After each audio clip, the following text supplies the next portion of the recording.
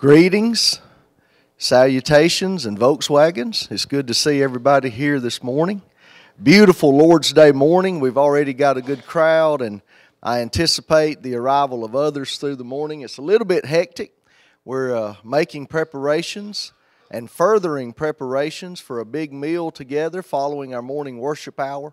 And so we're excited about that, but even more, we're excited about the spiritual feast that we have before us today. It is the Lord's day. We are among the Lord's people, and it's a blessing for us to be here this hour. I'm not going to take much more of our speaker's time. Uh, it's been quite a while. Brother Roger and I talked yesterday over the phone, and it had been longer, I think, than I realized since uh, he has been with us. We're so glad that he and Sister Donna both are with us today, and we're excited about this series that we have set forth. This first hour is going to be the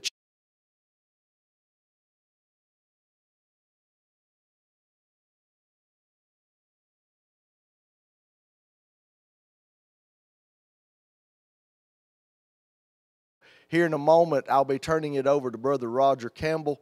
If you would, let's bow together and we'll have a word of prayer, and I'll turn it over to him. Father, we praise Thee and we give Thee glory. Father, we rejoice in the beauty of this Lord's Day, but infinitely more than the outward beauty and the weather of this day, we rejoice in the spiritual significance of the first day of the week, Father, the resurrection day. And we're so thankful to be here as your people. We're so thankful for the sacrifice of Christ for his redemptive work and all that he accomplished during his life and during his death and even during his resurrection and ascension, Father. We're so thankful that he ever lives to make intercession for us still today. Father, we do humbly confess our sins. Father, we acknowledge that we fall short of thy glory. We ask thy forgiveness. We pray that you'll suffer long with us, and that you'll strengthen us daily through thy word and through the fellowship of those of like precious faith, so that we might be drawn closer to each other and be drawn closer to thee. Father, we do pause to pray for those of our number who are sick. We know that perhaps many names will be mentioned later today, and many names are already reflected in our bulletin prayer lists. Father, you know each name and each need, and we ask for, for your blessings and your mercies on each person. Father, we are so thankful for Roger and Donna and for their labors in thy kingdom. Father, we ask thy blessings on Roger this hour and throughout this day. Strengthen him in body and in mind, and bless him as he stands before us to teach thy word. Father, bless us as hearers, that we would listen attentively in view of eternity. Father, these favors and blessings we ask in Jesus' name. Amen.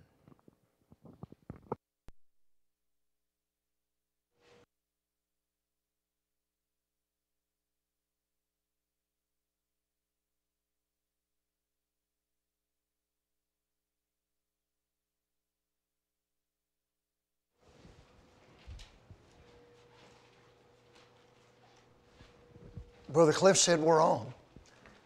It's good to be with you this morning. Uh, it is a magnificent day on the outside. We look forward to our time together as we study the Scriptures and worship the God of heaven. If I'm not mistaken, the last time we were here and I spoke was in 2014. Uh, we are your debtors for the rest of our life as we spent five years laboring in Southeast nation of Malaysia, and you were one of our supporting churches, and we will forever be grateful uh, for your support of that, and the brethren there are, are grateful as well. As the last speaker on a series of lessons, I know my number one objective is not mess up all the good that's been done before we got here. I know that you have been blessed to have lessons together on Friday evening and Saturday evening, and we hope that our studies together will be helpful and encouraging to all of us. We, we sometimes start a conversation by asking someone, perhaps in passing, or we're planning to sit down and discuss, well, how's your, how'd your day go? What kind of day did you have? What kind of day are you having? And you know, sometimes the answer might be, well, it, it was all right. It was okay. Other times the answer might be, man, it was good, and it, man, it, it couldn't have gone any better. And then at other times, as we talk about the kind of day we've had, or the kind of week we had, or the kind of period we're going through, we might say, well, you know, it's, it's been rough. Or we might even say, it's the worst stretch I've faced in my whole life. Not everything in life goes the way that we want it to go. Sometimes things happen that are disappointing, disheartening depressing. Sometimes we feel like someone's punched us in the stomach or something has punched us in the stomach, so to speak. And some of those feelings may be temporary, they may be one and done. Other times the hurt is deep and we may feel like it's never going to go away. And sometimes the pain leaves a scar. Now, now, who encounters those types of things? Who has to deal with bad times or bad stretches in life? And the answer is well, non Christians face those things, but so do members of God's family. People who've been on this earth for a long time, they face those things. So do middle aged folks, and so do young people. As we talk today and, and, and, throughout our lessons, and as you've spoken in the last couple of days about challenges, just this observation. When we use the word challenge, it doesn't mean necessarily that there's a problem. Someone says, I've got a challenging schedule ahead this week. Monday, I've got to be in Mobile, and and Tuesday, I've got to be in Montgomery. And Wednesday, I've got to be in Florence. And, and Thursday, I got to be in Huntsville. Well, it doesn't mean there's a problem. It doesn't mean there's something that's broken and needs to be fixed. It simply means that it's going to take a special effort on my part to be successful in doing the things that I want to do. But as we speak this morning about the challenge to move on in my life after something painful has happened or something hurtful. I think there's a. this is a topic with which all of us can, can relate. Now, the pain that fe- people feel is real. Now, you and I, many times, are observers as other people are going through rough stretches in life. Sometimes we're the ones going through it. Now, Again, who faces painful experiences? Well, people of all ages, people of all genders, whether you're a Christian or not a Christian. Now, here's a 10 year old boy. Now, you and I, some of us as old timers, look at this 10 year old boy and we see his response and we smile and say, well, he'll get over it. But here's this 10 year old boy, the championship game of his little league season. He's up to bat three times, he strikes out three times, he drops two fly balls, and he is devastated that his team didn't win and he played the worst game that he can remember. He's devastated.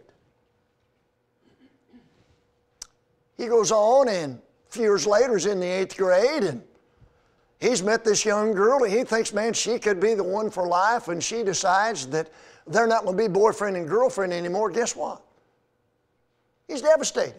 Now, as you and I are onlookers of that, we might smile, say, been there, done that, you'll get over it. But you know what? His pain is real. And then his high school senior, he takes the ACT, he, he, he has his grade index, and he's had this college in mind. He's wanted, his entire life, he wanted to go to that college. Well, you know what? He didn't have the scores, he didn't have the grades. He's devastated. Now, now those young people's pain is real. Perhaps someone is facing some health issues. There's things are going on in their body that have never happened before in their life. And it's tough. Or maybe they're a caregiver for someone who's going through that. It's a painful experience. Or, or, or, another family, through no fault of their own, they're facing financial crisis week in and week out. And it's a challenge. Not simply to keep their head above water, but to keep their mental state as a Christian where it needs to be. Students, they, they face the challenge of, of painful experiences. The rest of us who are, are in, in the working class or those of us who are retired, we, we, we face those challenges, but the pain is real. And I'm not even mention the one we often think about, and that is the loss of a loved one. Whether the loss of our mother came unexpectedly, we call it an untimely death, or the loss of our mother came after she'd been in a special assisted facility, she'd lived there for 20 years. It's a painful experience. And so we hope as we mature as a Christian and we observe what other people are facing, we hope that we will be sympathetic. And if it's something with which we can relate, we hope we will learn to be empathetic. There's a, an instruction in 1 Peter chapter 3. In, in, the, in the opening section of 1 Peter 3, you've got instruction for wives and then instruction for husbands. And then flowing out of that, you've got instructions that would apply to all Christians in all scenarios. But, but in 1 Peter chapter 3 and, and verse number 8, verse number 8, the Bible says, Finally be ye all of one mind, having compassion one of another. Let me pause for just a moment and say, if you're looking at the Greek word, it would be sympathese. And if you printed that word over and over, it sounds like our English word sympathy. So, so the idea of their compassion one for another is the idea of, of sympathy. And then love as brethren, be pitiful or be courteous. The New King James instead be pitiful has be tenderhearted. And there is the idea of being able to feel what people are going through.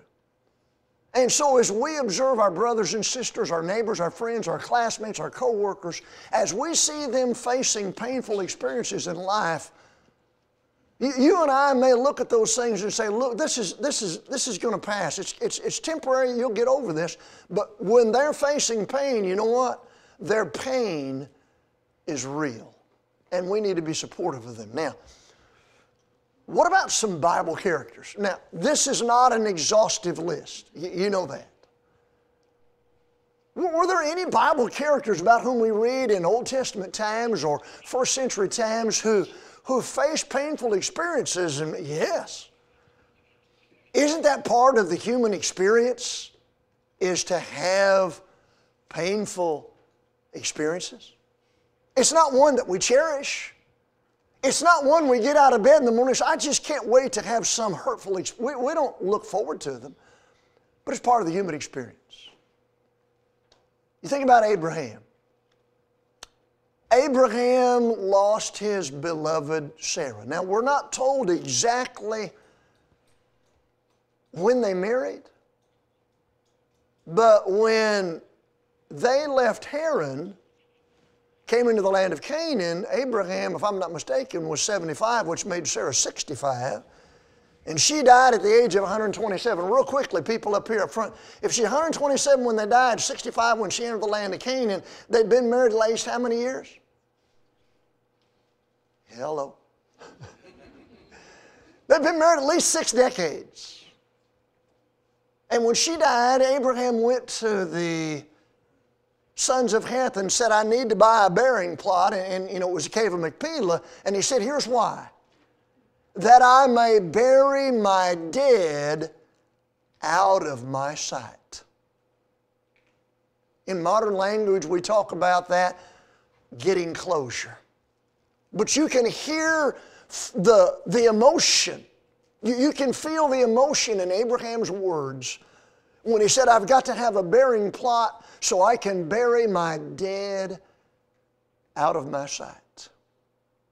a minimum of 60 plus years together as husband and wife. Was that a painful experience? Well, of course it was. That same book of Genesis, Joseph, betrayed by his brothers, sold into slavery, lied about by Mrs. Potiphar, wrongfully imprisoned, all of those things. Did he face trials in his life, things that were unpleasant? He surely did. Job. Job's kind of the one we think up there. He's at the, the top of the scale, right, in terms of going through difficulties. Job wouldn't claim to be the only one in history who went through hard times, but in one day's time, he lost thousands of head of livestock and all ten of his children. The pain of losing one loved one, sometimes it feels overwhelming. Can you imagine one and then another ten in one day's time? And yet, Job is so well known, and the Bible uses that terminology. In James chapter 5, as James is appealing to the Christians of the first century to be patient in the sense of endurance and perseverance, he said, Think about the patience of Job. It's not just a term, y'all. It's not just something for a bumper sticker. There genuinely was the endurance and the perseverance of Job. Moses there's one chapter that one Bible chapter that comes to mind to me in the life of Moses that was painful experience after painful experience after painful experience. It's Numbers chapter 20. It was the 40th year of the children of Israel in the wilderness, and the first verse says that in the first month, Miriam died. So he lost his older sister. The next section in Numbers 20 is the Bible's record of God's instruction for Moses to get the people together and speak to the rock in front of the people so they could have water. He didn't do that. As a result, God said, You're not going into the land of Canaan. So he lost his sister. He lost his right to enter the land of Canaan before you get to the end of chapter 20. In the fifth month of the 40th year, he lost his older brother Moses. You talk about a rough patch. Lost his sister lost his right to enter the land of Canaan, and lost his brother. Moses was familiar with painful experiences. Naomi, because of famine in the land of Israel, Naomi and her family moved to the land of Moab. And in the course of time, which family members did Naomi lose? Lost her husband, lost her two sons. She came back to Bethlehem accompanied by Ruth. And when she got back there, she said, Don't call me Naomi. And the margin of my Bible under Naomi, I believe, says pleasant. She said, Call me Mara, which means bitter. She said, Because the Lord has dealt bitterly with me. She struggled with a bitter spirit. Naomi was familiar with hard times. David, and you think about David, some of his hard times, some of those were self inflicted after his debacle with Bathsheba and the things that played out in his life, he faced challenge after challenge, and a lot of those were, were self inflicted wounds. But, but the point is, David, even as the sweet singer of Israel, and all of those uplifting and edifying and upbeat psalms, David was familiar with painful experiences. Peter, the night our Lord was betrayed, Peter three times denied him, and on the third time, there was eye contact between Peter and Jesus. And the Bible says that Peter went out and he wept bitterly. Luke 22 and verse 62. Peter was, in our language, devastated because of what he'd done. And you have to wonder, I'm just thinking out loud, you have to wonder for the rest of his life, every time that Peter heard a rooster, would there have been that unsolicited, natural cringe and response? He had to live with that for the rest of his life. And then the Apostle Paul, not in a context where Paul is at all complaining, but in 2 Corinthians 11, that's one of the passages in which Paul, beginning verse 23, gives a reference to some of the things that he'd experienced. shipwreck, beatings. It's in that context. He said, I've been whipped on five different occasions with 39 lashes. I've been in prison. I've, been, I've, I've faced all these things. Paul was not exempt from painful experiences. The church in Corinth in 1 Corinthians chapter 3, Paul, Paul says, Look, you're carnal. I wish I could speak to you as if you were spiritual. You're carnal. He said, Here's the evidence. You've got envy, you've got strife and division. That doesn't mean that every single person was involved in that, but just imagine you're a member of that congregation. You're not a participant in the envy, strife, and division, but you certainly feel it and you're certainly aware of it and you certainly have to live with it. It's a horrible experience to deal with a congregation that is torn asunder from within. And then we'll close with the church in Smyrna. I'm thinking about Revelation chapter 2. If I were to ask you this morning to quote part of a verse from the book of Revelation, my thought is if this is standard congregation A, most brethren would think about perhaps Revelation 2:10b. 2:10b. Be thou faithful unto death, and I'll what? Give thee a crown of life. But in that same verse, before you get to that familiar wording for us, Jesus basically said to the church in Smyrna, here's what lies on your horizon. You're going to be tried, you're going to be tested, you're going to have tribulation, you're going to suffer. Those are Bible words. Trial, tribulation, suffer. Some of y'all are going to prison for 10 days. And in that setting, in that context, you be faithful unto death, and I'll give thee the crown of life. The, the New Testament teaches God wants us to be faithful until the end of our lives. But it seems to me that the meaning of Revelation 2 and verse 10 is way more than that. It is if your suffering and tribulation, imprisonment, and torture even if you have to give your life for my sake, even if you have to die for me, you need to be faithful even to that point. So, what do we conclude from this?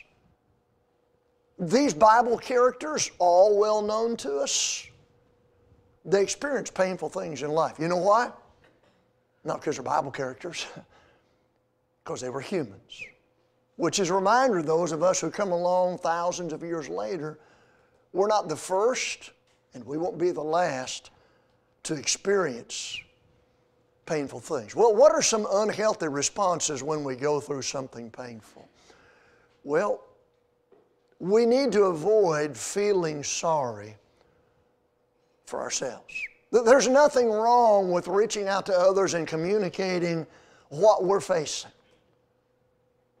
But it's not a time for us to feel sorry for ourselves. In 1 Peter chapter 1, verses 6 and 7, the picture there is just as gold is tested by fire, so our faith is tested by what? Trials. And over later in chapter 4, I think it's about verse 12 or 13, Peter uses the language a fiery trial. How do we find out? Under what circumstances do we find out what kind of faith we have? And the answer is not when things are going smoothly. We're, we're not suggesting when things are going smoothly you can't have a strong faith. But we really find out what kind of faith we have and how committed we are when we're facing challenges. There's a statement in the book of Proverbs, it's Proverbs chapter 24 and verse number 10 that says this If thou faint in the day of adversity, thy strength is small. Now, that statement sometimes may hit us right between the eyes. If you faint, if you grow weary in the day of adversity, then your strength is small. When I read that statement, my mind naturally goes to something that God said to Jeremiah. I think it's Jeremiah chapter 12, where, where God said to Jeremiah, he was somewhat disheartened by what he was observing in Judah. And God said, If you grow weary with the footman, how are you going to keep up with the horses? How are you going to keep up when, when the waters of the Jordan overflow? In other words, if you're struggling in this matter which is smaller, how are you going to deal with the floodgates being open and, and more and more challenges? So let, let's not feel sorry for ourselves. Number two, let's not isolate ourselves. Now, I understand we all have different personalities. Some of us are more outgoing, some of us are more introverted, some of us are more bubbly, some of us are more keep it to ourselves. So we're not saying change your character, change your personality. But it's not healthy for us to cut off everyone and everybody and isolate ourselves when we're going through trials. Is it helpful in some cases to have some R and R and to get away? Yeah, Jesus said to the apostles after they'd been out preaching, He said, Let's go apart to a separate place. He said, in the King James language, He said, Let's come apart and rest. Mark chapter 6, verse 31. So there's a time for rest. The old preacher said it this way, based on the King James. He said, There are times in life you can either come apart and rest, or you can just come apart. so, so there's something to be said for time off, change of scenery, whatever. But think about Elijah. Think about an instance in the life of the prophet, prophet Elijah when he was down. I'm thinking about after that victory at Mount Carmel at the peak of the mountain, literally victorious over the false prophets. Somebody put the word out. Somebody put a mark on Elijah's life. he's a dead man. Who was it? Remember? Jezebel. And Elijah was disheartened. And in simple language, as God communicated with Elijah, he said, Son, I got things for you to do. You need to get back involved. You need to get back to serving. You've had your temporary time, but don't totally isolate yourself, Elijah. He said, Go and anoint this man as king of Syria. Go and anoint Jehu as king of Israel. Go and anoint Elisha to be a prophet. So th- there was a time when Eli- Elijah took a time out. But God basically said, Look, it's not healthy for you to totally isolate yourself. You need to get back and be involved. You know, sometimes when bad things happen in life, our first thought is it's somebody's fault. I got to blame this on somebody. Well, you know, sometimes in life things happen and someone is to blame for that. But even if you and I can, can identify the source of what happened, who, who caused that, does that really remove the pain? No, not really. At some point, we're going to realize in life, even if someone is at fault, if somebody's not at fault, suffering and hurting is part of, of the human experience. But here's one we really want to notice we don't want to go off on God. Isn't that the response some people have? When something in life unpleasant happens, they had their mind set on something and, and they didn't receive it, they didn't achieve it, they're disappointed. Well, why wouldn't God give that to me? I've been serving Him for these many years the best I know. Why, why wouldn't God give that to me? Or I asked God to extend my spouse's life all I asked for was two more months, and, and, and he didn't even get two days. Going off on God, that's never the right response in any situation. Let me ask you this Did the Father, God the Father, love His Son Jesus? Yes, He did. Did Jesus during his earthly journey experience painful things? And the answer is yes. Should Jesus, because of those painful experiences, should Jesus have begun to doubt the Father's love for him and go off on the Father because he wasn't there? Absolutely not. And so that example reminds us that even though God loves us, that does not exempt us from pain and challenges in life. We mentioned a minute ago the Apostle Paul and things that he went through. We did not mention that unique language that he used in describing what he faced. He said, I got this thorn in the flesh. And he said, not once, not twice, he said, three times I entreated the Lord to remove that thorn, whatever it was. And God's response, the way it played out, God's response basically was the thorn stays. Paul's thinking was, boy, my life would be a lot better if I didn't deal with this thorn. God said, son, the thorn stays. He said, My grace is sufficient for thee. 2 Corinthians 12, verses 7 to 9. Going off on God is never the right answer. What is it says in Philippians 2 and verse 14? Let all things be done without murmuring or complaining. Not always an easy thing to do, but going off on God's not the right thing. And then sometimes people who have been with the Lord decide it's in their best interest simply to call it quits. Think about John chapter 6. To me, this is just me speaking. To me, one of the saddest verses in the whole Bible is John 6 and verse 66. Jesus had spoken in a synagogue in Capernaum about himself as the bread of life. And the Bible says, after that message, many, M A N Y, many of his disciples went away and walked with him no more. To me, that's one of the saddest statements in the whole Bible. Now, not one, not a couple, not, not just people who'd been listening in every now and then to his message, genuine disciples. Many of them decided the best choice for their life was to leave the Lord. That's never the right response. You say, well, just some things in life I don't understand. None of us understand everything in life. It was on that occasion Jesus turned to the twelve and said, Will you also go away? And Peter said, Lord, to whom shall we go? Thou hast the words of eternal life. You know what that was? That was perspective. That didn't take away the trials, that didn't take away the pain. So, so those are five. If you were to come up with a list, you, you would probably have some different ones. And if I were to start with a list tomorrow, I may have five different. But those are some unhealthy responses. Now, what can help me to move on?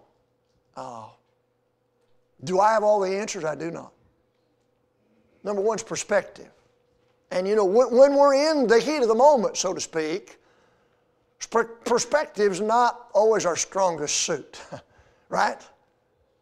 But if I could somehow step back and ask myself, one year from now, five years from now, am I going to, if I'm still alive, am I going to look back on this and say this was something really, really big or maybe not so big? Okay. Something happened. We just put new carpet in the living room. One of the grandkids was over there, and they thought that, that light colored carpet needed some cherry Kool Aid all over it. Well, it's unfixable. It's painful. It was expensive. I don't want to go through that mess again. Well, a year from now or five years from now, you know what? May look back with a smile. But perspective, yeah, try to keep it in perspective with this thought. Rejoice in the Lord always. And again, I say rejoice. Philippians 4 and verse 4. Go to the Lord. Go to the Lord. Uh, First Peter 5 and verse 7, we're to cast our cares on Him. What's the reason? What's it say? He cares for you. I don't know if it's in the songbook we use here at Ironaton, but there's an old song way back last century when I was a kid we used to sing. I didn't grow up in a Christian family, but the song was, Take your burden to the Lord and leave it there. Anybody know that song? Take your burden to the Lord and leave it there. If you trust and never doubt, He will surely bring you out. Take your burden to the Lord and leave it there. So I don't want to burden God. Listen, God said, I want to hear about it. Bring it all to me. In Hebrews chapter 4 and verse 16, the writer's been talking about Jesus as our high priest, and he said, Let us therefore come boldly to the throne of grace, that we may obtain mercy and find grace to help in time of need. Now, think about some of those words, and they're not very big words in English. In time of need, and when we're hurting, we're in need. In time of need, come to the throne of grace that you might receive grace, mercy, and help. When we face painful experience, that's time to go to the Lord. Time to trust in Him. Those who wait upon the Lord shall renew their strength. They shall mount up wings like eagles. They shall run and not be weary. They shall walk and not faint. Isaiah 40 in verse number 31. Go to the scriptures. Now I'm going to mention a verse that we often quote in reference to the Old Testament, and I understand why.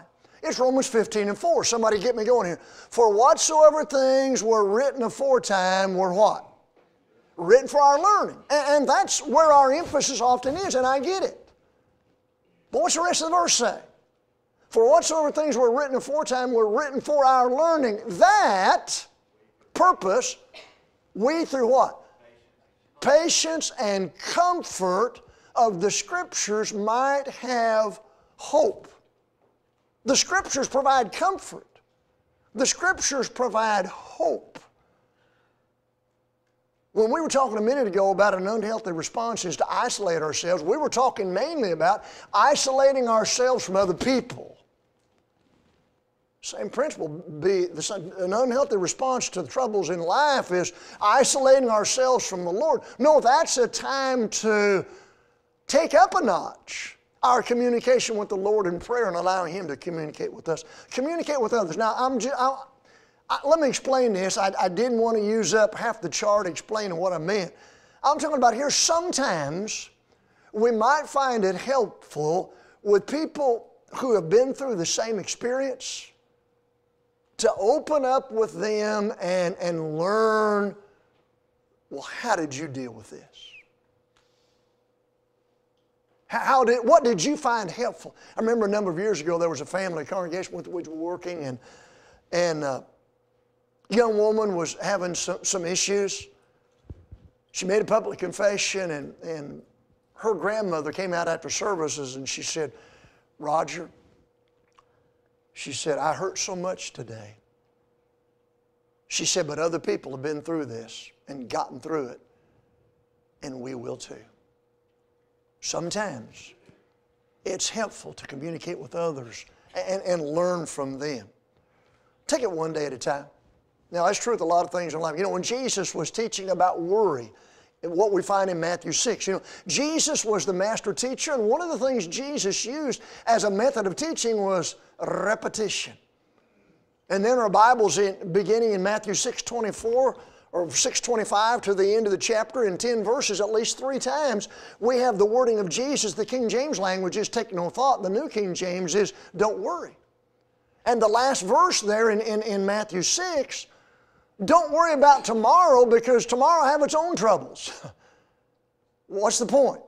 one day at a time you know, sometimes our mind begins to race ahead and say, well, look, I'm dealing with it. I don't know if I can face the rest of my life.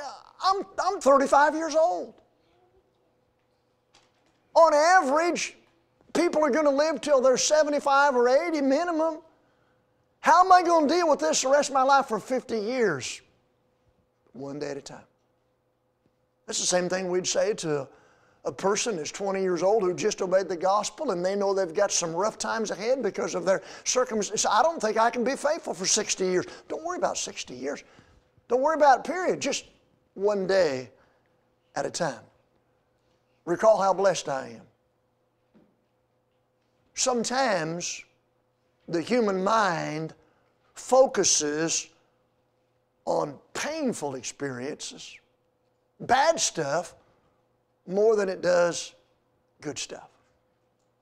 I can't explain it, it's just the way it is. If you were to ask me the score of every high school football game I lost, I can tell you the score of every game I lost. I'm not sure I could do half of the games I won. That's the way the human mind is sometimes. I'm not saying that we should say to ourselves, the pain I'm feeling, ah, that's nothing, just count your blessings. I remember a family that had four children,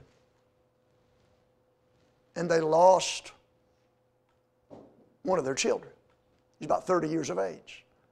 And one of the sons spoke to his mom and said, Mom, you still got three of us. And you know, she was basically, you don't understand a mother's love. You don't understand the hole in my heart. Let me, let me suggest this to you.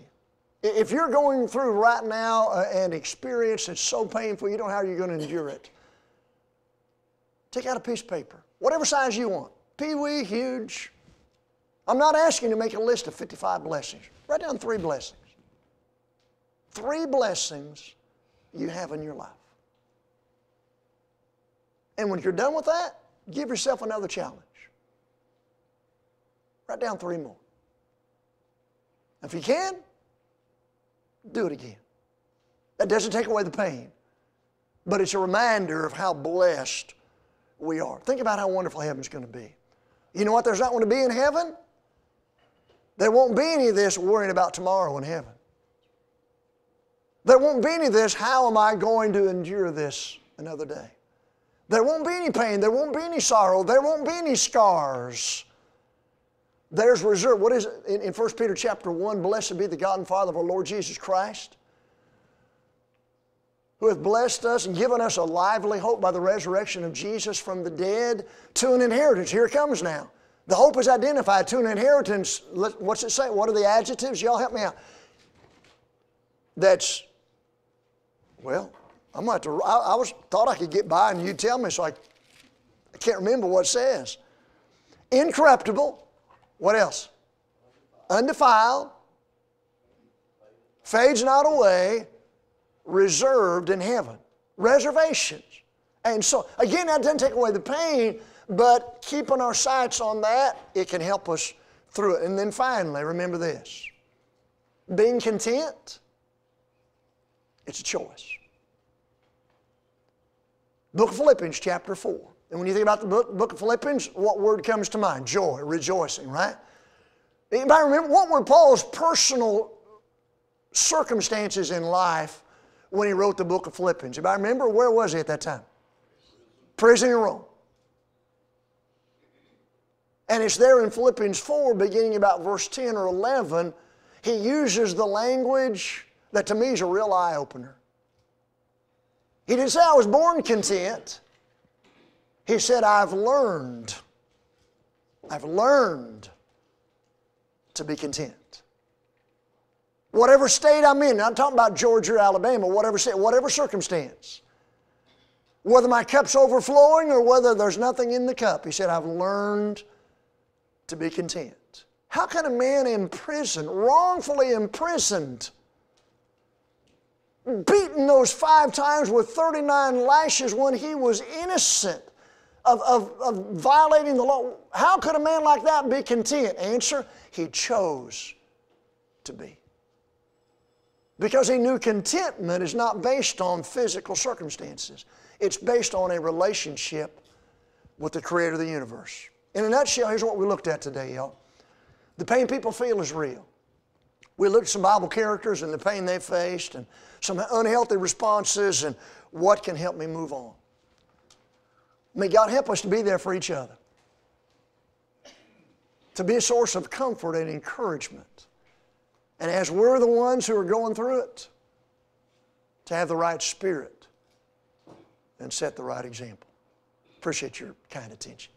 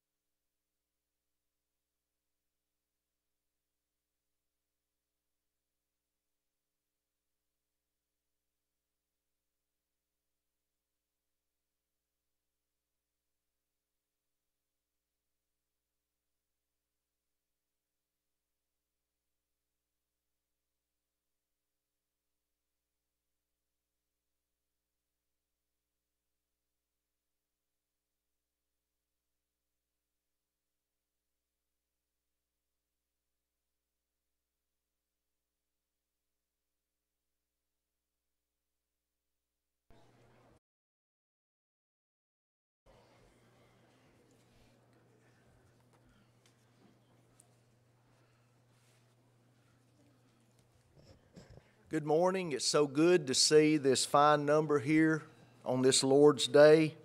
If you were with us during our auditorium class, my, how we have already been blessed spiritually here today. We're thankful for that, and we're looking forward to the continuation of these services together. If you would, take a songbook and be opening to number 174. 174 will be our first song this morning. Brother Brad Collins will be our song leader today. At the appropriate time, our opening prayer will be led by Brother Mickey Haney. Our closing prayer at the end of services will be led by Brother Michael Brewer. Michael, of course, we would ask that you lead us in giving thanks for the food, especially at that time. And then our Lord's Supper observance today will be presided over by Brother Pete Ward and Brother C.J. Johnson, also at the appropriate time. Two housekeeping matters. First of all, if you're visiting with us today, we love visitors here at Ironaton. We want you to feel welcome in every way, and we hope you'll come back. But if you will, look to the back of the pew in front of you, and you'll notice some white visitors cards, rectangular white cards uh, go ahead presently and take one of those out and be filling out that visitor's card for us if you would. And at the close of services, simply leave it lying in one of the pews, or even better, uh, find one of our members and hand it to them if you would. And that way we can have a record of your being with us today as our guest. Another housekeeping matter uh, your cell phones. We know and understand that we often use our cell phones for maybe Bible apps and things like that. Uh, we just ask if you would please to make sure that somehow it is silenced. And then that way, even if we're using it in our study, that hopefully it will not go off and be a disruption. So please look to that for us if you would. Okay, card group number one the list and the cards will be in the auditorium here today following our morning worship hour. And so, basically, as I understand it, all during our lunch break, the uh, cards and the list, that rolling cart with which you're well familiar, it will be in here during the lunch break. And uh, because of our lectureship and because of the special uh, circumstances, what we're doing is we're, we're telling card group, group one to feel free to take the list and the cards today. And if you'd like to bring them home and work on them, simply bring them back Wednesday of this week. And uh, David and Laura Powell, they can take those cards from you Wednesday night. So that's card group one for today. And also, in conjunction with our card ministry, uh, we want to thank you for those who are gathering contacts for us. As you know, from time to time, there are new names added on the whiteboard next door where our card groups meet, and, we appreciate that. We, we need to ask, if you will, in conjunction with bringing those names in, uh, also submit those names and addresses to Dale or Sherry Harris, and in that way we can make sure that they're added to our database and that they are uh, put on the appropriate list for the month. And so, please, as you do that, uh, keep passing that along also to Dale or Sherry. Okay, I have a few more announcements, but they can be reserved until our closing remarks. If you're with us today, you know that this is our winter lectureship. Our speaker for all three uh, sessions today is Brother Roger Campbell. Uh, he and Sister Donna have recently moved down to our area. They're now living in the Tallapoosa, Georgia area, and uh, we're so I'm so thankful. I know to have them uh, close by and in our area. And he's going to speak at the appropriate time this hour on the challenge to keep first things first in our busy lives. How we need that. So, Brother Roger Campbell will stand before us at the appropriate time. I'm going to turn the services over now to Brad Collins. As Cliff mentioned, number 174, Higher Ground. I'd ask if you would please at this time, let's stand as we sing this song.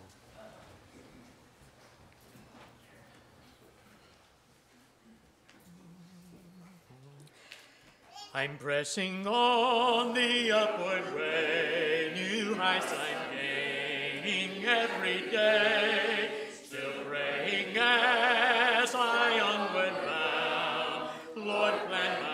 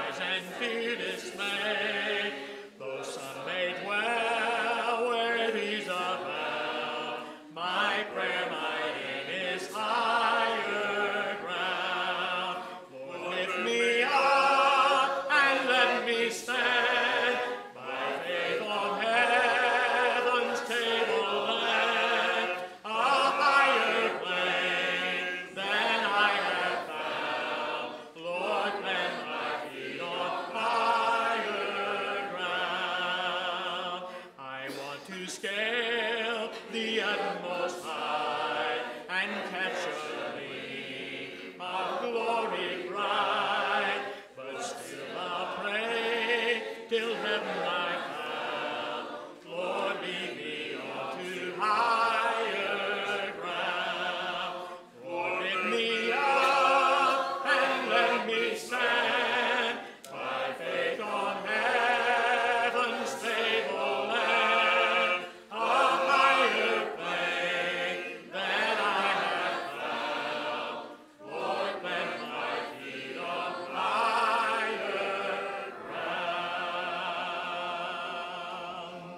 Be seated, please.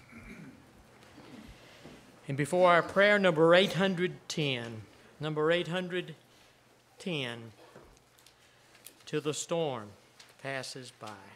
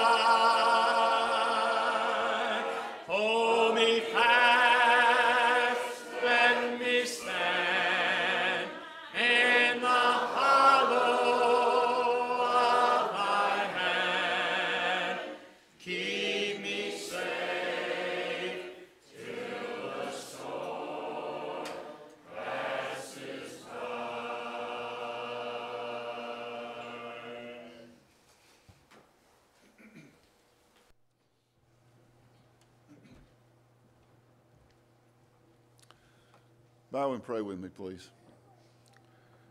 Our most holy and righteous Father in heaven, Father, we're so thankful unto Thee for this beautiful Lord's Day that you've given us and for this opportunity that we have to assemble together and worship you in spirit and in truth.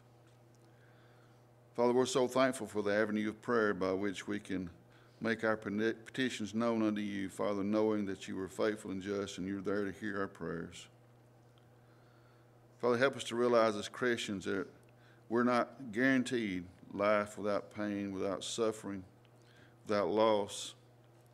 Father, help us to know that we have a way to deal with these things through prayer, through a study and reflection of your word. Father, thank you so much for Brother Campbell being with us today.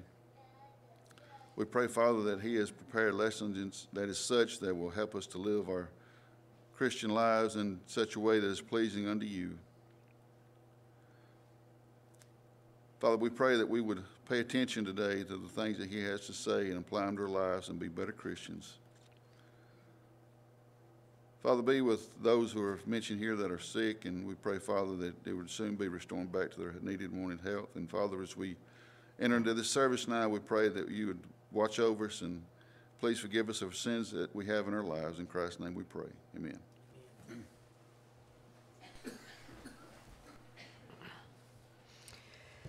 You please mark number 867.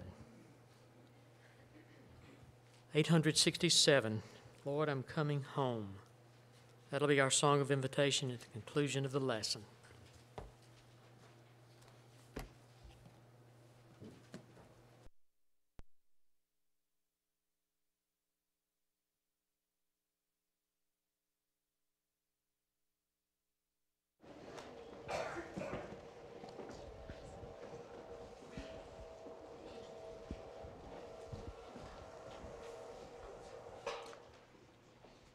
What I noticed was nobody came up here to preach, so I said, I'll do it. Isn't it great to be a Christian? If I were to ask you this morning, without raising a hand or writing down an answer or speaking out loud, if I were to ask you this morning, do you feel like your life is pretty busy? I think most of us, regardless of our age, most of us would say, Well, yeah, I stay pretty busy. There would be some among us who would say, Busy? Busy doesn't do it justice. There's a word that someone has coined to call the rat race that we sometimes face an everydayathon. busy, busy, busy. Does that describe your life? Describes a lot of our lives. Some people are busy in, in work related activities. Their job is demanding. We sometimes say that person is consumed with his or her work and it can take its toll. Other people are in, in, involved in busy, busy with family activities, wholesome activities. Dad's got a schedule, mom's got a schedule, the kids have their schedule, and every schedule seems packed and it can feel exhausting. Students are busy. Those of us who are in the workforce, we're busy. Retirees are busy. A couple and their children left home, uh, they're busy. But they're not busy. That, that couple has three teenagers still living at home. We all have busyness in our lives. And what we want to talk about this morning is the challenge to keep first things first in our busy lives. The question is not, are we going to be busy? We're going to be busy in one fashion or another. You know, we've got devices, we've got gadgets and gizmos that are supposed to be time savers. And a lot of us would look at our lives and look, reflect on our past life and say, it feels like I'm busier now than I've ever been in my life. I got these time savers, but I'm so busy. And so we want to talk in this session this morning the challenge to keep first things first in our busy lives. Well, let's first identify first things first. Because for a non Christian, when they talk about first things first, they may have something entirely different in mind than a Christian has when she or he talks about first things first. Just taking the word first in our English Bible, the, word first is part of the teaching of the Old Covenant. For, for instance, the children of Israel, the, the final plague of the ten plagues in Egypt was the death of the firstborn, firstborn in the, among the families, uh, and the firstborn among the livestock. And you read in Numbers chapter 13, you read about it, I'm sorry, Exodus 13 and Numbers 3 about this reality under the old law, the firstborn, firstborn among the Israelites was to be dedicated to the Lord. That doesn't mean that parents were to offer their oldest child as a sacrifice. But that oldest child was to be redeemed. Uh, literally, a price was to be paid. But, but that child was identified as firstborn, in other words, belongs to the Lord. Same thing for the firstborn among their livestock. So there was their firstborn. What about the term first fruit or first fruits? At the time of gathering in the harvest, the first portion of the harvest was to go to whom? Go to God. Well, what if it looks like we're going to have a, a smaller harvest this year? I'm not sure if there's going to be enough. If I give God the first fruits, I'm not sure if there's going to be enough to take care of my family and have seed for next year. God said, I want the first fruits. So, as this firstborn dedicated to the Lord, there were first fruits offered to the Lord. You remember the children of Israel when they entered the land of Canaan? The first city with which they did battle was the city of Jericho. And God said, The spoils of that city they go to the treasury of Jehovah. They're not for your personal consumption. Joshua 6:19. We might call that the first spoils of the land of Canaan. They went to the Lord God. During the last week of Jesus' life, a man came and asked him a question. He said, In the law, speaking about the law of Moses, he said, What is the first and great commandment. And in his response, Jesus did not say there's no such thing as first commandment. The question was not, what's the first commandment that was spoken? The question had to deal with the first commandment is there any that takes priority? And I'm reading from the account in Mark chapter 12. Jesus said, The first of all, command, all the commandments is, Hear, O Israel, the Lord our God is one God. And thou shalt love the Lord thy God with all thy heart, with all thy mind, with all thy soul, with all thy strength. This is the first commandment. And so those Israelites that grew up in, grew up in that Israelite culture, educated and trained in the law of Moses, they were familiar with the concept of first things first. Firstborn children and livestock, first fruits of the harvest, first spoils in the land of Canaan, and the first commandment. Well, under the new covenant, we have the concept of first. Now, it may not always be the word first, but the concept is there. For a child of the living God, our first target, our first goal in life is when this life is over to make certain that our final destination is what? Heaven. And so Jesus' exhortation to his followers was strive. The idea, even to the point of agonizing, put forth the effort, strive to enter the straight or the narrow gate. So there's going to be a lot of folks who want to go in but not be able to. Luke 13 and verse 24. So, as you and I look at the prospect of entering the narrow gate, Jesus said what it's going to take is striving, agonizomai, even if you have to agonize. We spoke this morning about John chapter 6 and the sadness of many of Jesus' disciples going away and walking with him no more. Earlier in that chapter, up in John chapter 6, now if you remember the setting, Jesus' message about himself as the bread of life in that synagogue in Capernaum took place the day after he had fed about 5,000 men on the other side of the Sea of Galilee. Fed about 5,000 men plus women and children.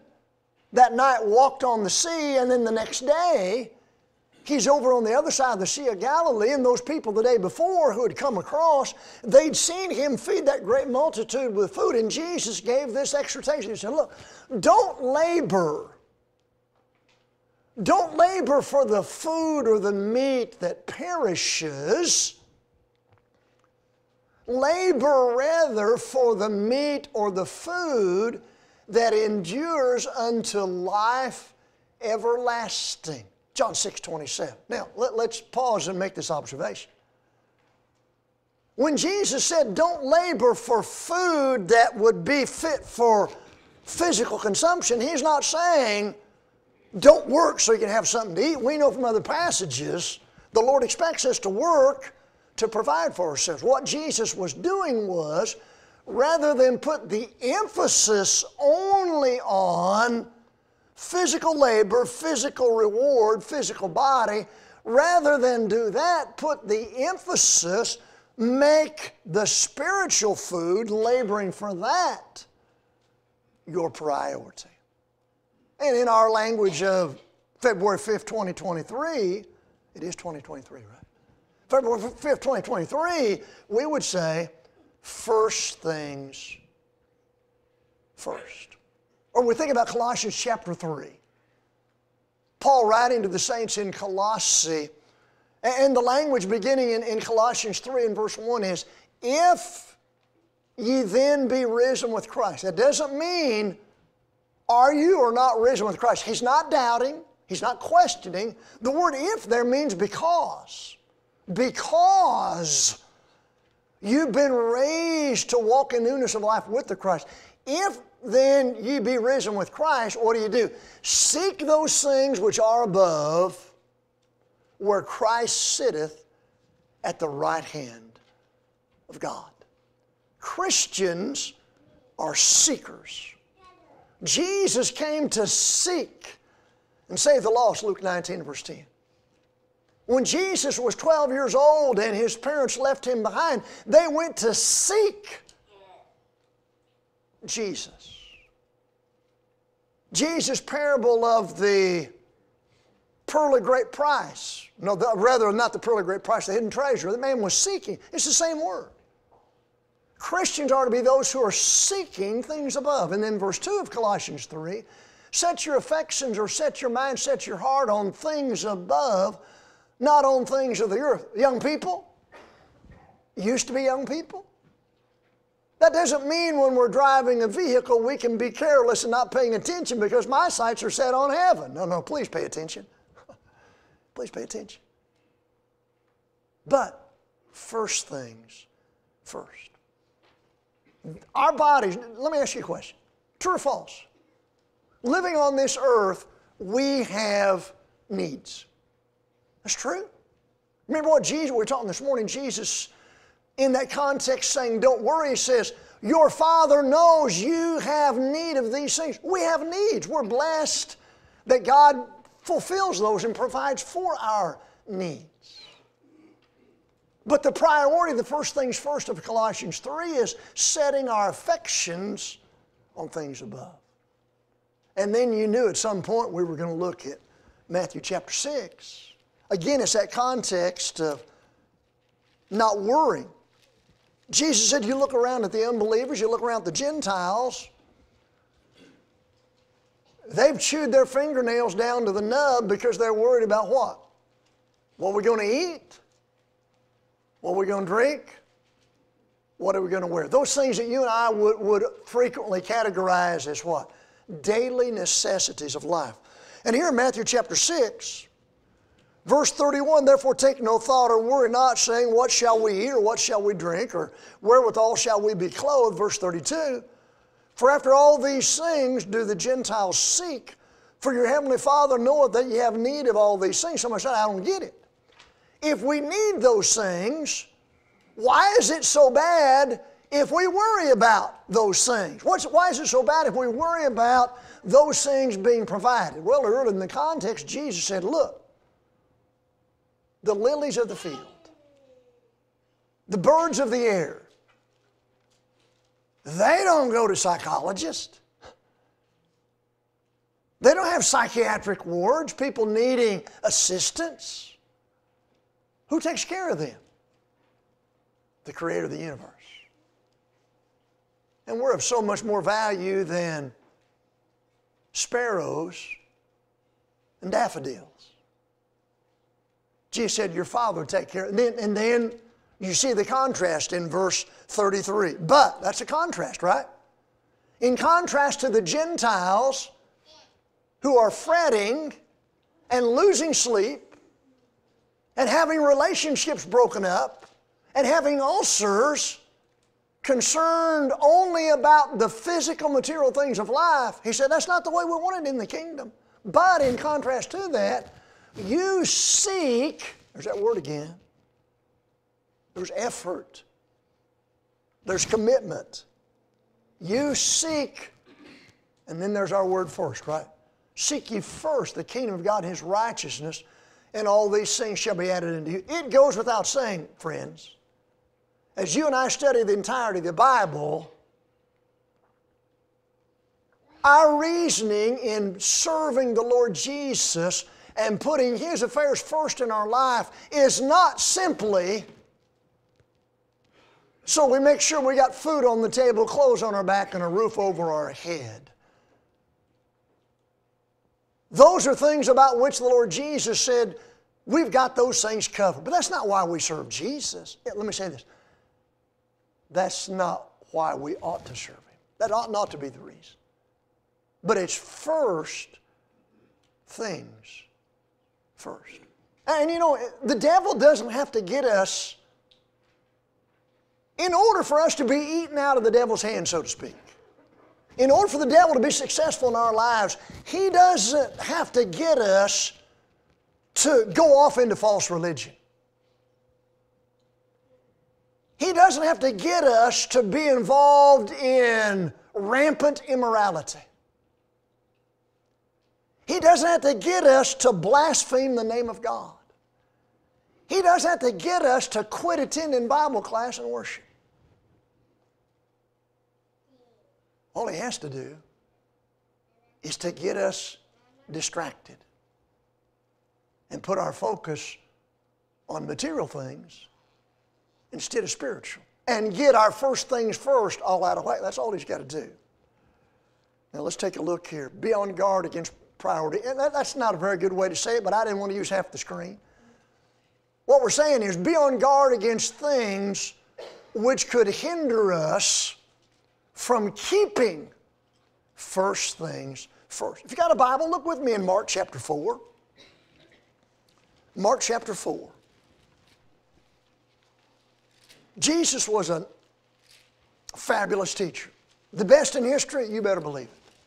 And, and one of his teaching devices was parables.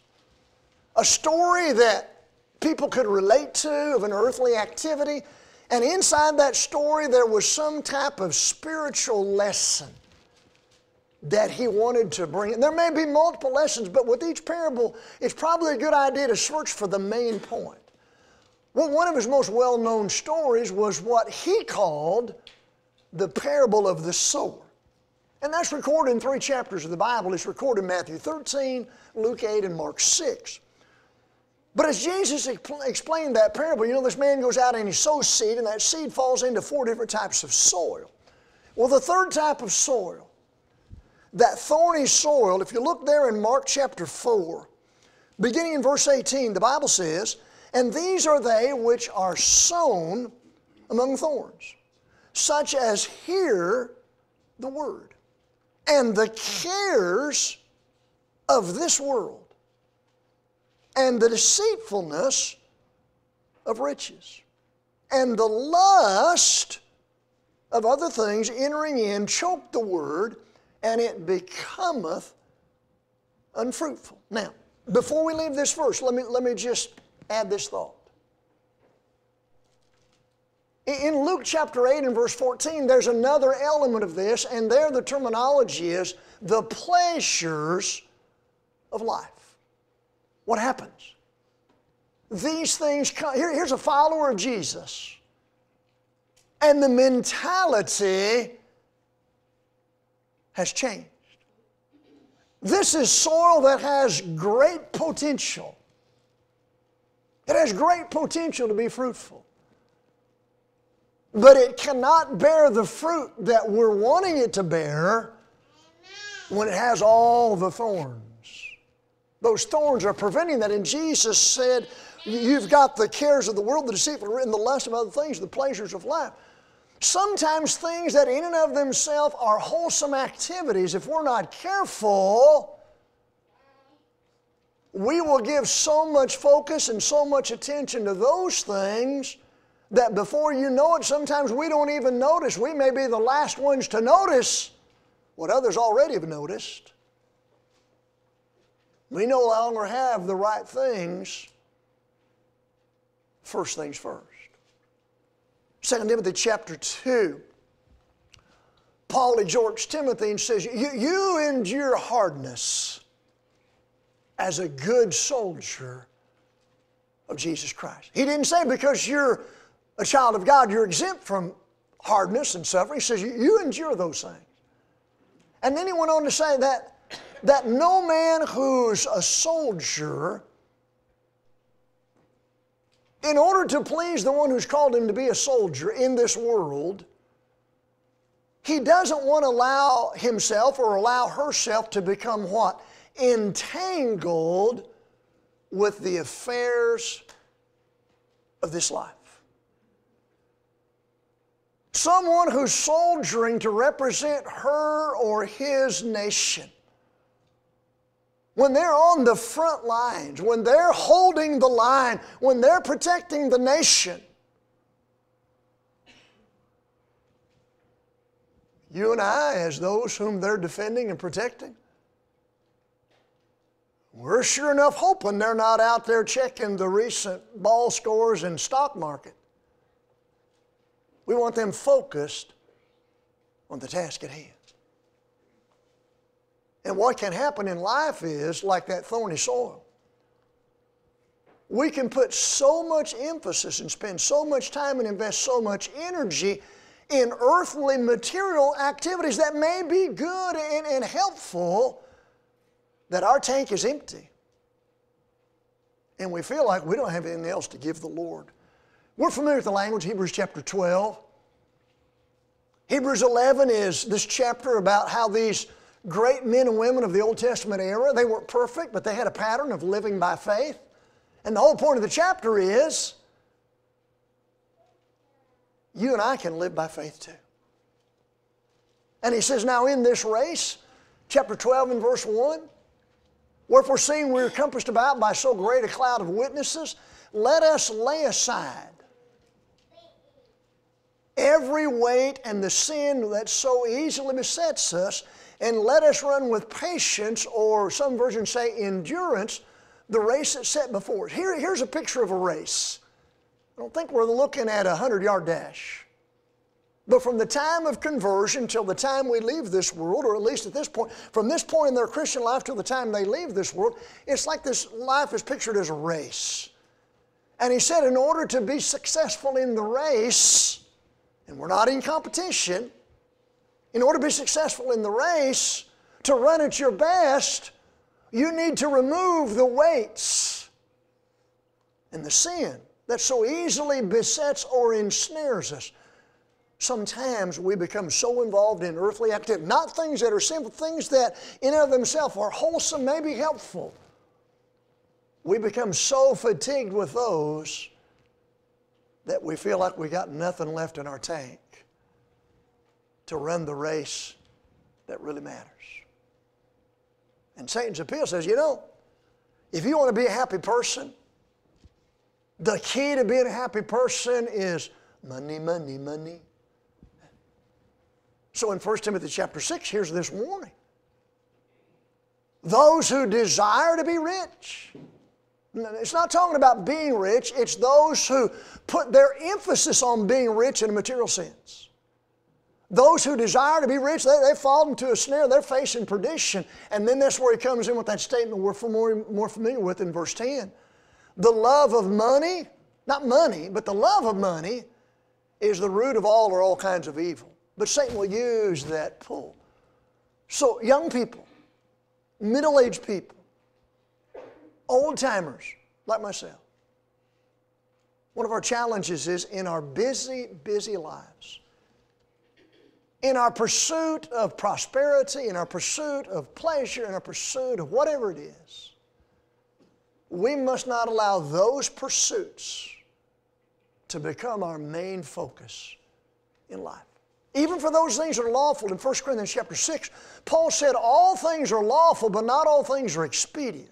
In other words, the things that are acceptable, maybe not all of those are in my best interest. And then he made this conclusion. Even though they're lawful, he said, I won't be brought under the power of any of them. Country language, 21st century, Paul said, I won't become an addict. That hobby of mine, in which I invest time and money, it's just a hobby. But I'm not going to let that be what determines who I am now. Some signs that our super busyness is affecting us. Let me mention a few. If I see in my life that I am so busy with stuff that that is affecting my personal Bible study time.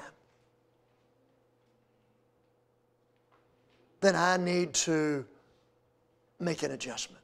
Here's what the Bible says in 1 Peter 4 and verse 4. I'm oh, sorry, 1 Peter 2 and verse 2. As newborn babes, what?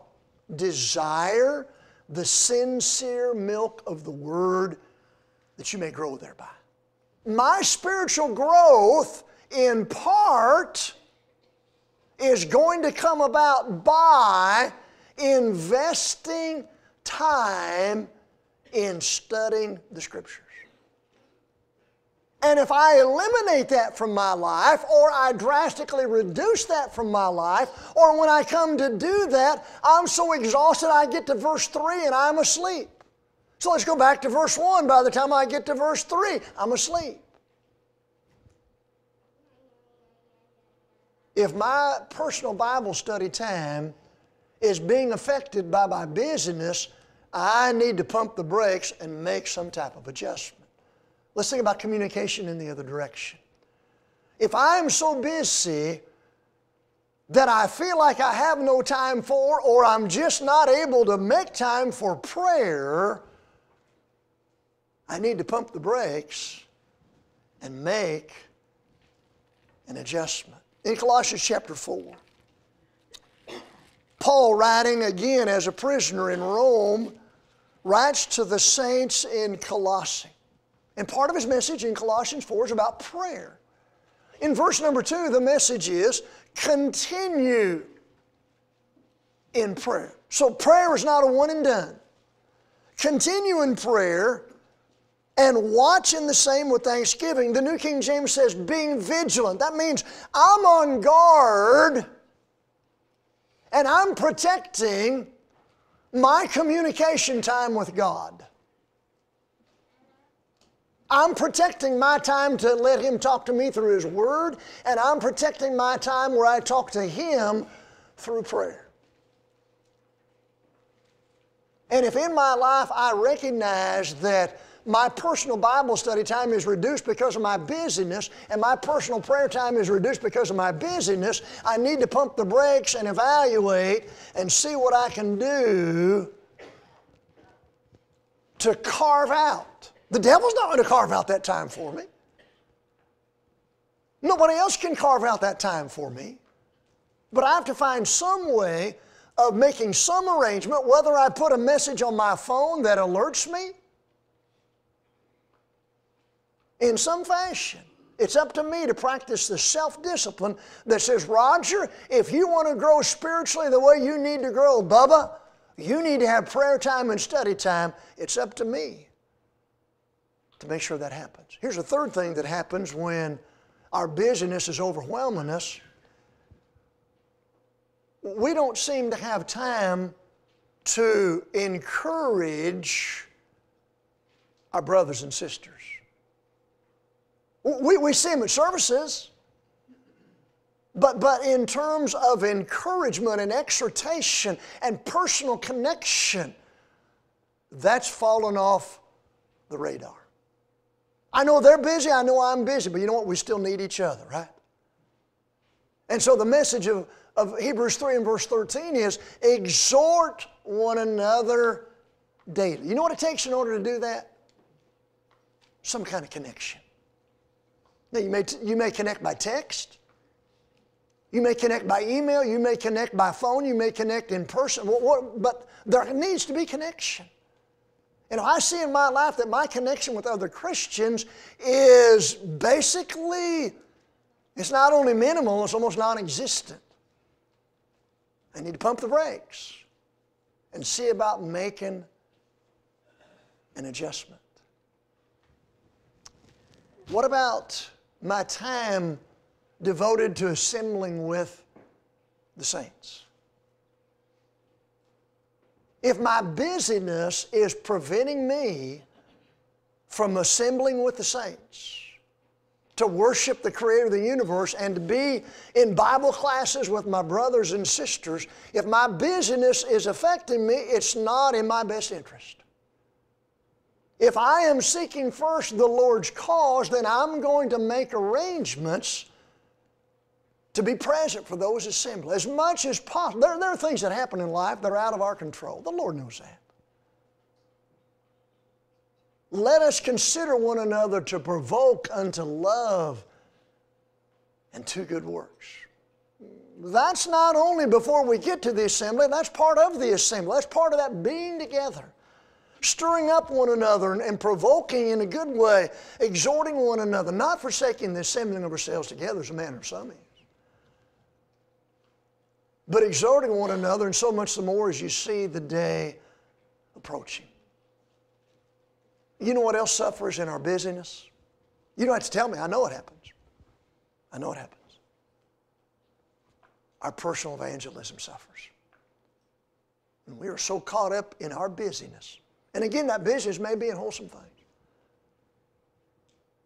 If I'm too busy to try to talk to lost people about the gospel. You know what I am? I'm too busy. A number of years ago, brother and the Lord wasn't present for the assembly, and after the assembly, we were out in a public place and came across him, and we were said, "Well, we missed you this morning, so I was I was too busy to come." Bubba, if you're too busy to attend the assemblies of the saints, you're just that. You're too busy. If you're too busy to study your Bible on your own, you're too busy. If you're too busy to take time to pray, you're too busy.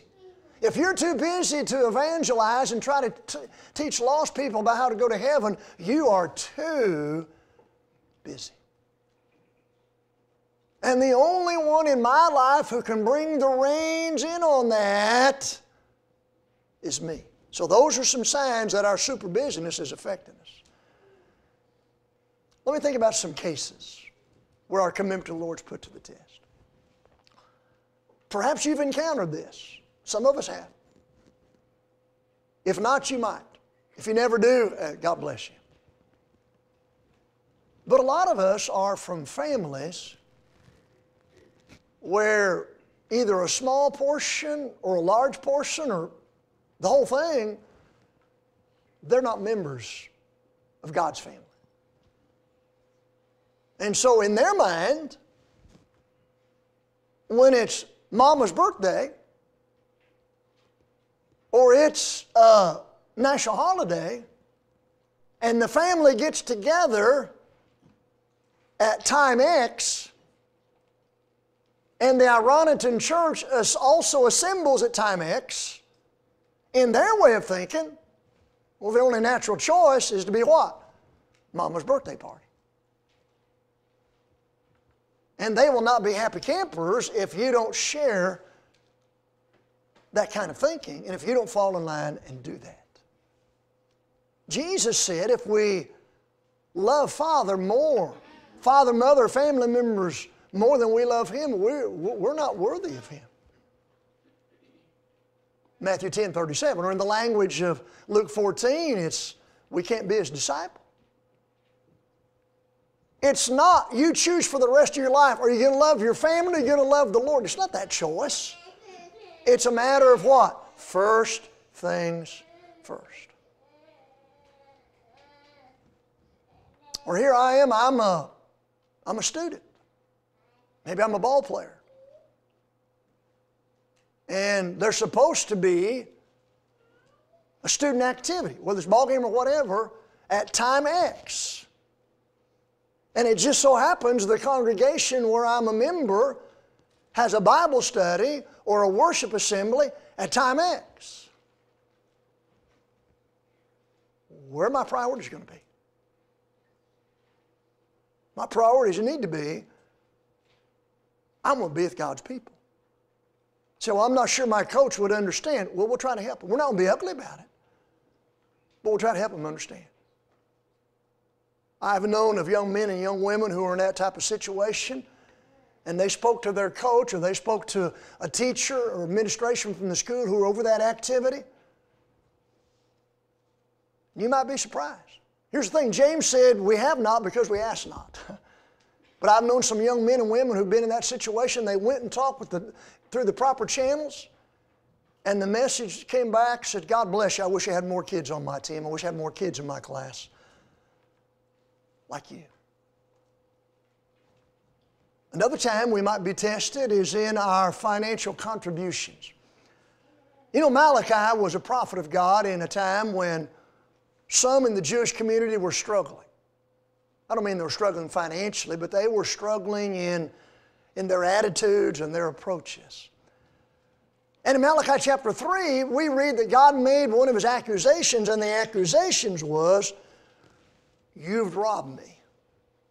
Now, it didn't mean that they passed the collection plate or the collection basket and people were taking money out of the basket and putting it in the pot. Now, it wasn't what was happening. God said, you're, you're robbing from me, you're stealing from me in tithes and offerings. What that meant was, what should have gone to God was staying in their pocket. What should have gone to God was staying with them. And God's promise, you might even say God's challenge to the Jews of Malachi's time was look, you bring your tithes and you bring your offerings properly, and you just watch and see if I don't open the windows of heaven and pour out a blessing. God said, You put me first. God said, You do what you ought to do, and you just don't see. Just, just watch and see if I'll not bless you. God's not asking us to go broke. God's not asking us to be bankrupt. But when it comes to our financial contributions, God wants us to put first things first.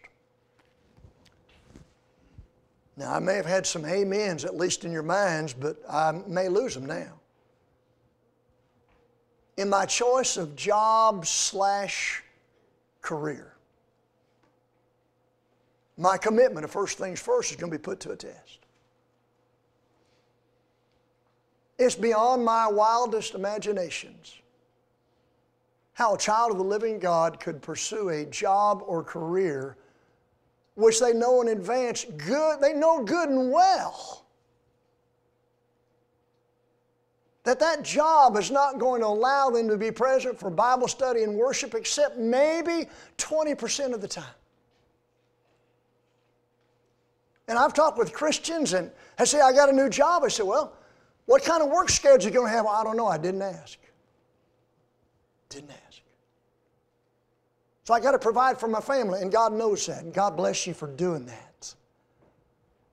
But we've also got to believe in God's promise if we put Him first. What? He's going to provide for our needs. Hey, Brother Roger, I've got a job. It's over in, uh, and they name the place. They said, well, What, what do you know about the congregation? I, I think the closest one is three hours away. You know what's physically possible? It's physically possible for a person to live in a place and put in the effort to travel three hours one way to go to services. I know people who have done it and do it now. But you know what? You know what that does on a person? It wears on them. It wears on them mentally. It wears on them physically. And to think before traveling down that road that this is going to be in my spiritual best interest, brethren, that's just not true. Not only would it be in our choice of jobs and where those jobs are and what those jobs are, where they are and what they are, what about the spouse whom we choose? It's in our spiritual best interest. And if we have children together, it's in the best interest of my children that I marry someone who's on the same page as me spiritually. Not just on the same page as me, but on the same page as God. I need to marry somebody who loves God more than they love me. I need to marry somebody who's going to help me go to heaven. Because I don't care what language you use. If I marry somebody whose devotion is not to the King of Kings and Lord of Lords, then the only other alternative is their devotion is to the devil. If I marry someone like that, that's not in my spiritual. But you say, Brother Campbell, don't you know that through the years there have been a lot of people who've been converted or they converted their spouse? I know that's the case. But my commitment to the Lord and first things first is put to a test when I make a choice as spouse. Let's close out this morning with a few positive things. Look in your Bible, if you would, in 1 Corinthians 7. I've got three or four things and then we're done. Here are some suggestions. Number one, we begin with this thought The most important thing in my life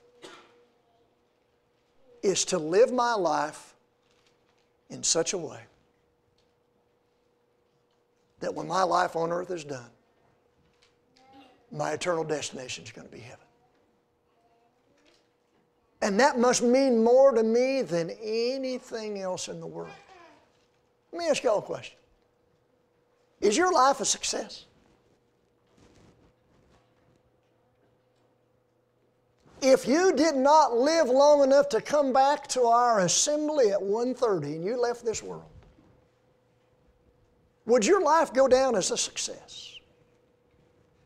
You say, well, um, well, uh, I'm not sure. You know, the world looks at success, well, it has its own way of looking, right? Material possessions, notoriety, some special legacy. But the Lord's definition of success, it's way different.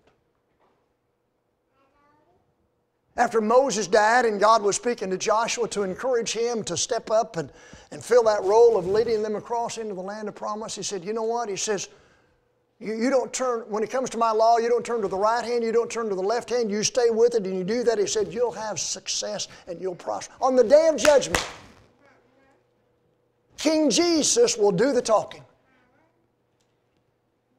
And to some people, King Jesus will say, Depart from me. You can just put right there beside that failure. That's a failed life.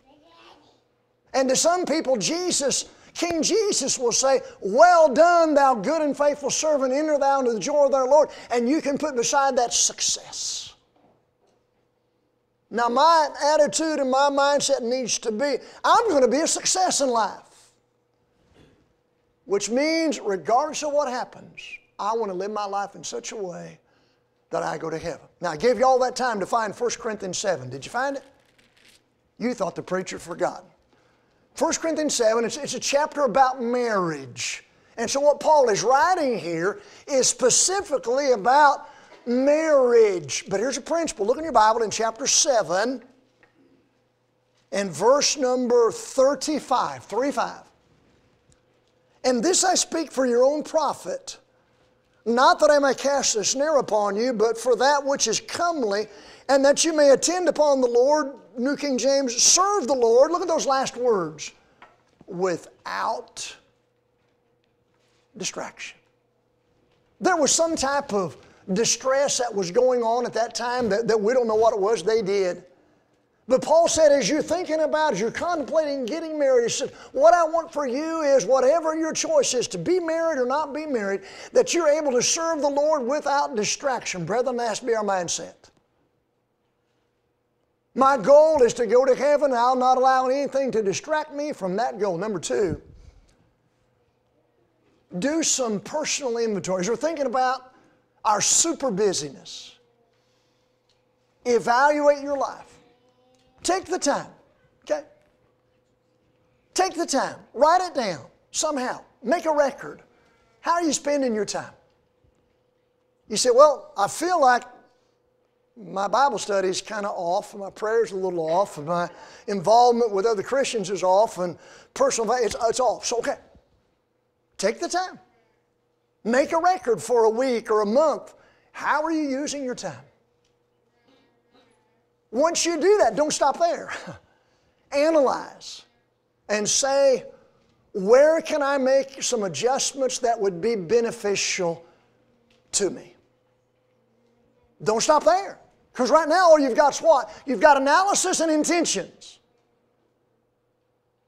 Now then's where the faith has to step in to take that analysis and intentions and put them into practice. Thirdly, you might want to consider speaking with a mature Christian for whom you have the highest level of respect. Say, look, Sister Jones, Brother Smith, you know me, you see my life. Do you think that my busyness is affecting my spiritual life, or you just look at my busy life and say, well, that's the way it is for all Americans. Get some feedback. And then finally, make a special effort, make a concentrated effort to improve your communication with God. His Word is a lamp unto our feet and a light unto our path. Make a special effort. Doesn't have to be New Year's resolution. It could be a February 5th, I just want to do better resolution. Make a special effort to spend more time studying. Draw near to God and He'll draw near to us, James 4 and verse 8. So, those are some thoughts about the challenge to keep first things first in our busy lives. Look, if somebody told you this being a Christian is easy peasy, they weren't telling you straight. It's not easy. Doable. That's why we need each other to encourage each other. We've not talked this morning how to become a child of the living God, but by God's grace, salvation is available, and the blood of Jesus has the power to wash away every sin you've ever committed. If you believe that Jesus is the Son of God, and you're ready to turn from your sins in repentance, confess your faith, and be immersed in water for the remission of sins, be the best day of your life.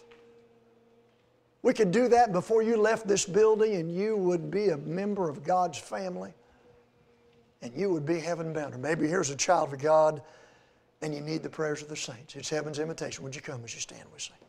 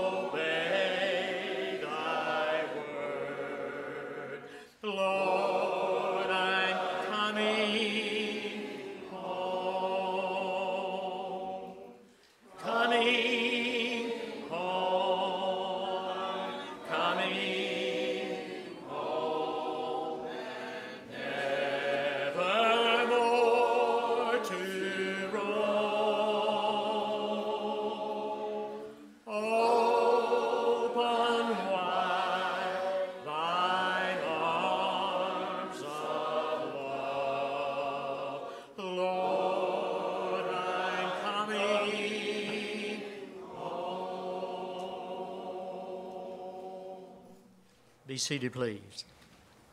If you didn't pick up your serving of the Lord's Supper, the, when you came in, would you raise your hand and someone will bring you a serving now?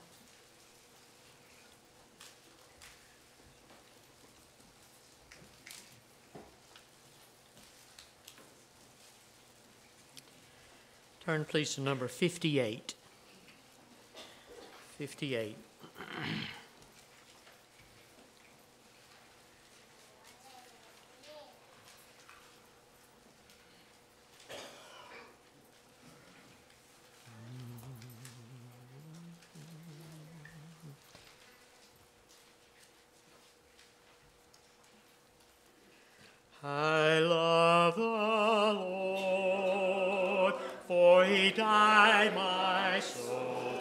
soul to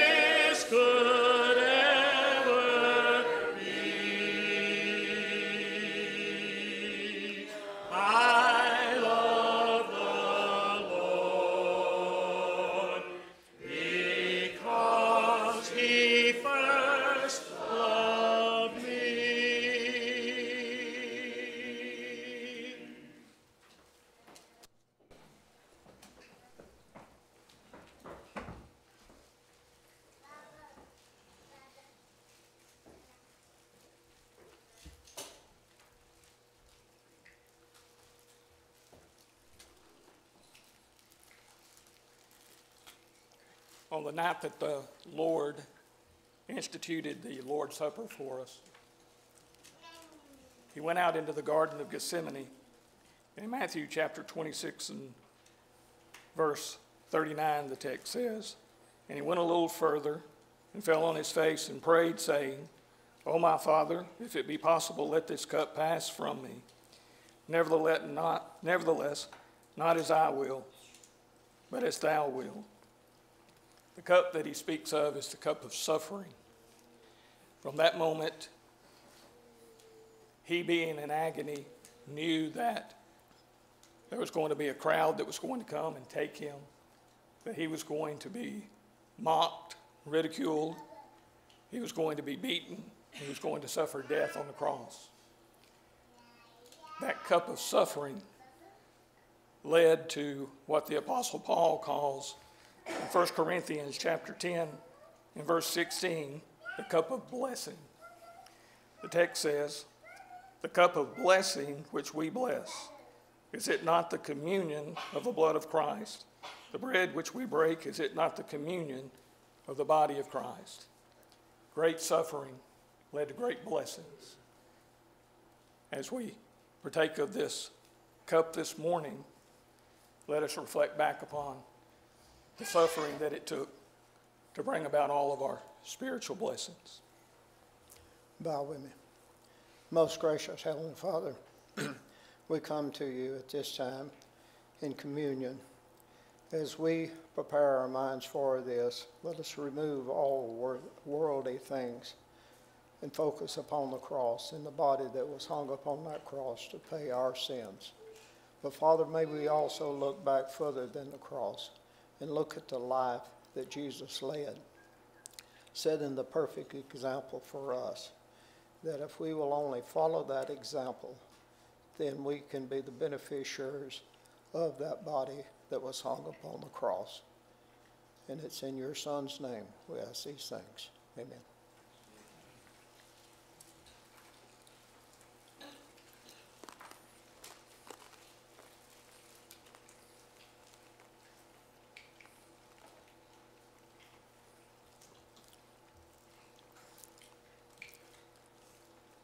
Let us give thanks for the blood.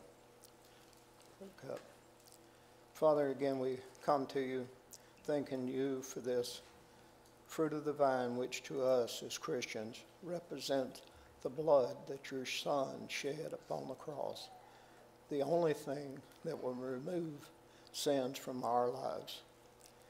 May we take this cup in a worthy manner and pleasing unto you. It's in your Son's holy name we ask these things. Amen.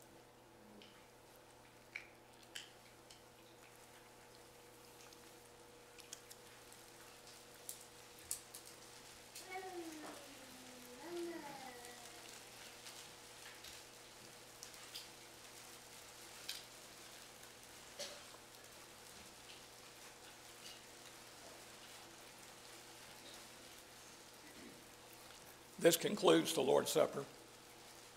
Separate apart from the Lord's Supper, we've been instructed to lay by in store as we've been prospered.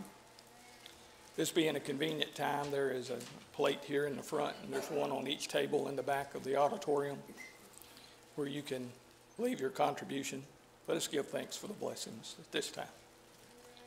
Our most righteous God and Holy Father, we, we again come before Thee. We're thankful, Father, for our health, for our ability to earn a livelihood, and we're thankful, Father, for all the many blessings.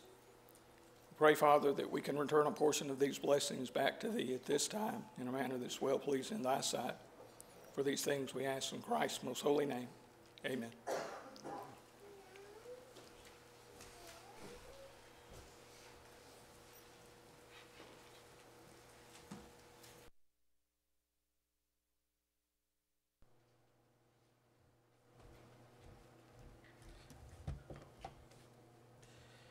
Perhaps it's been maybe the last three to five years, I'm not exactly sure, that I have started in planning our lectureship, I've started giving a lot of latitude to our speakers in their own selection of their topics.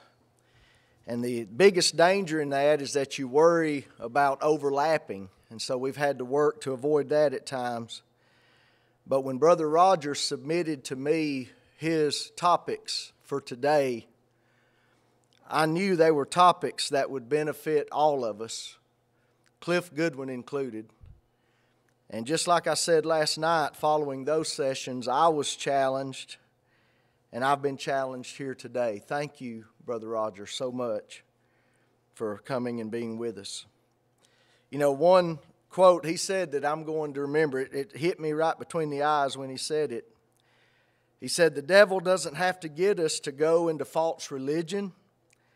He doesn't have to get us to practice rampant immorality. He doesn't have to get us to blaspheme the name of the Lord. He simply has to distract us, emphasizing the material over the spiritual. We all need to be reminded of that. We are so blessed to have you here today. Everybody, look around. Right now, look around the people around you. I'll wait till I see heads turning. Look around. All right, there are visitors. There are a lot of visitors with us. So, for our members here at Ironaton, following our dismissal prayer, go to a visitor that's seated close to you. Introduce yourself if you don't know each other already. Lovingly take them by the arm and say, Come on get in line with me. And we want our visitors toward the, the front of the line. We'll be forming the line for our meal at these double doors up here at the front following our dismissal prayer. And so please look around and, and help us with that. Instead of interrupting the meal as, as we're enjoying it here in a few minutes together, I want to take care of some things right now. Uh, we extend a hearty thank you, a hearty thank you to Sister Alice Blankenship. When you go next door, you're going to be blown away once again uh, by the way it has been set up for us. And, and Alice has already told me that she wants to make sure that we thank Rodney and Rita Williams, Ravonda Stevens, who also helped, these who also helped with the setting up. And Alice also wanted to thank our young men who Wednesday night saw to it that the tables and the chairs were put in place. Uh, we're truly indebted to all of you for helping make this meal even more special. Now, on those tables, you're going to see Valentine's care baskets. They have chocolate and fruit in the baskets. And as you know, Miss Alice intends that these get taken following today's services. Find a shut in, find someone in assisted living, find someone recovering from surgery, find someone whose day needs to be brightened and uh, deliver those Valentine's care baskets to them. And also, there are snow globe vases, likewise, that may help to lift someone's day. And so, those are intended to be taken. Take those and find someone that we can bless with the gifts of those items. Okay, one other announcement. Uh, this year, as happens a lot of years during February because of the marriage retreat and because of the challenge, our singing night will be moved one week back. So just keep in mind, this Wednesday we'll be in classes this Wednesday, and our singing night will be February 15th uh, later this month. That's all I have. We'll be uh, enjoying this meal together, and then we'll reconvene at 1.30 for our final service of the day. If you would, let's be standing, and Brother Michael come dismiss us in prayer.